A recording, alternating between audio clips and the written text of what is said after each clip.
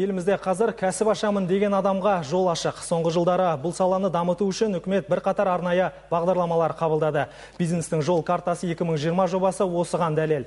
Бұдан бөлек елбасы да кәсіпкерлерге ерекше қамқорлық жасап, қолдау көрсетіп келеді. Бизнес өкілдерін бет алды, тексеруге мораторий жариялады. Ендігі кезекте кәсіпкерлер де мемлекетке көмектесуі керек. Бұл тұрғыда алдағы уақытта қандай міндеттердің атқарылуы керек екенін елбасы кеше кәсіпкерлермен кездескенде қадап айтты. Президент пікірін өңірлердегі кәсіпкерлер де қолдап отыр. Қазіргі бастағалы тұрған кәсіпкерлерге өте үлкен жеңілдік бар. Бұл тарапынан тікелей мемлекет тарапынан да елбасымыздың өзінің тікелей қолдауымен үлкен жұмыстар жасалып жатыр. Ерінбей жұмыс істеймін деген адамға мысалға үкімет жағынан бәр жағынан қолдау бар.